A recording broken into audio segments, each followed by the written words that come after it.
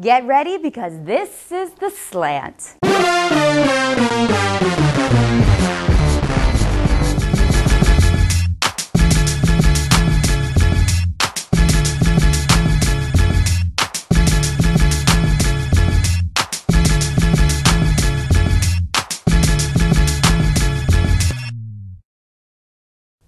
Hey guys, I'm Stephanie Bay, and this week I'm joined with our very own and beautiful, talented, and color coordinated, not planned, Miss Connie Lee.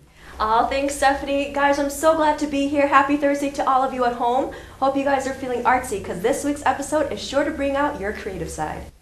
First, AC catches up with a group that believes there's a writer inside of everyone. Then Christine Astos sits down with a teacher who has a painter's touch.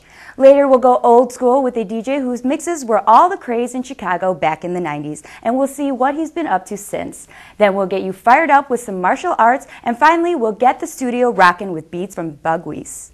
All right, guys, what do you say we get started? Connie, would you like to do the honors? I'd love to. Thank you, Steph. All right, for those of you out there who love to write but feel like you never have someone you can comfortably share your writing with, well, worry no more. Our very own AC sits down with a group who believes that there's a writer inside of all of us.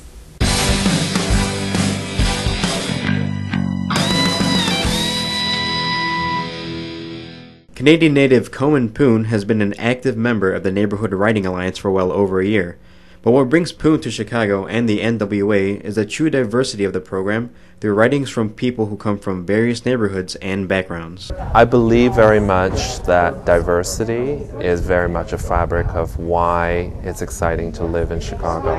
Every person from various socioeconomic, cultural uh, backgrounds come together on a weekly basis to really dialogue with each other through the arts and through their writing and sharing about themselves and how they see the world.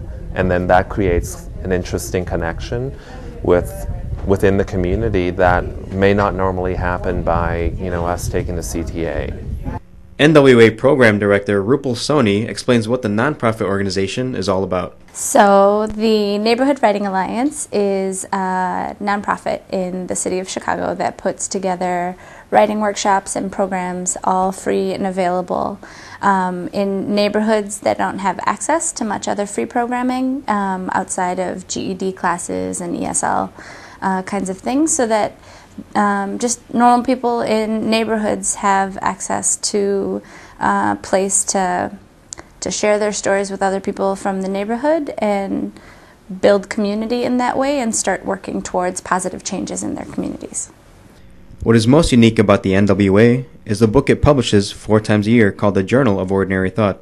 Everybody that uh, participates in our workshops, um, which are all ongoing and in the neighborhoods that we work in, uh, write down their stories. And we publish all of them every writer at least once a year, if not more often. And the whole purpose of it is to not only document the stories in the neighborhoods, but to, to validate those stories and those experiences, and also have a way for them to share them with other people in the neighborhood. We give them out for free in all of the neighborhoods that we work in, and we also send them out to a subscription list of about, I think we're up to like 800, 900 something people, including the aldermen and the decision makers in the neighborhoods that we work in, the people in the media that are representing these neighborhoods, um, and just different people that we think might um, benefit from understanding a different perspective. You know, the NWA allows you to express your personal feelings, and that's basically what the group is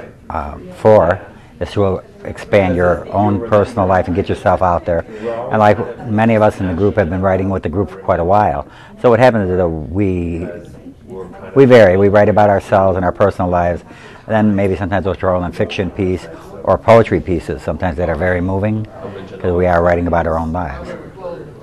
I'm interested in making uh, writing accessible and to understand that everyone has a story to tell. This is AC for The Slant.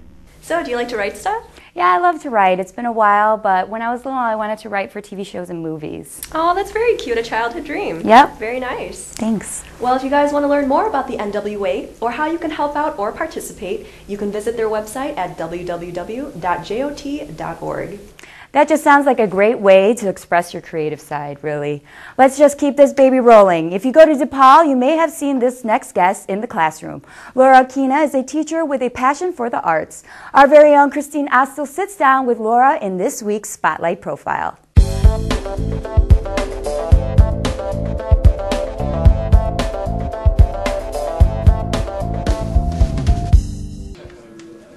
Might know her as a professor, but to others, she's Laura Kina, the artist. Raised in a small Norwegian town in Poulsbo, Washington, Kina says she found art through her mom. But she had wanted to be an artist, and so um, she decided to pass along those things to me, and she had me painting and drawing every day when I was a kid. And she took me to museums and I just really fell in love with making art. So it was always sort of the first way that I processed the world. Kina is inspired by her surroundings. Her most recent work, Aloha Dreams, was created by recounting her family's history in Hawaii as sugar plantation workers. Her art also portrays Asian Americans and multiracial issues. I have one series, um, the Loving versus Virginia, that's inspired by the Loving versus Virginia Supreme Court case, um, which over in 1967, which overturned the last anti-miscegenation law. Um, so I used that as inspiration to create a series called Loving um, where I did charcoal portraits in black and white of people who were mixed race, uh, who were born after 1967. And so in that series, they're sitting cross-legged um, in a circle around each other. And you don't, first of all, know what their race is. Um, you just see them. You see them as individuals with tattoos, with jewelry, with their clothes. That's how you see people, right? Another series, like the one that's behind us right here, um, it's called Hapa Soap Operas. Um, and that was a series where I was doing photographs and then paintings of people who are mixed race Asian um, across the United States. And I would put them together in these fantastic oil paintings. And then some of them were turned into Bollywood style movie posters with flashing lights around them. When Kina's not painting, she's teaching at DePaul University. I can tell she really, really loves what she's doing because she's very passionate about it. In class, she discusses Asian American arts and culture with her students. She's also the director of DePaul's Asian American Studies Department and helped launch the minor in 2005. I went to the School of the Art Institute of Chicago for undergrad, and at that time um, it was at the height of multiculturalism, and we actually had an Asian American literature class that I got to take. And that just really changed my world. I remember, you know, reading Frank Chin um, and Shawn Wong and so many other authors, and for the first time, reading stories that were similar to things that I had experienced growing up. So that was a really powerful thing to see this history in print in an institution as part of my education. I never saw that before. Because of that experience, I realized that it's a, it's a really important thing that, that this be part, that our stories, our history be part of everyone's education. Kina's currently working with another professor on an exhibition and book that'll be called War Baby Love Child Mixed Race Asian American Art. Now Kina's even inspired me to start painting. We here at The Slant would like to personally thank Laura for sitting down with us and wish her the best of luck down the road. We're going to take a quick break, but don't go far because coming up, the musical stylings of Bug Stay right here.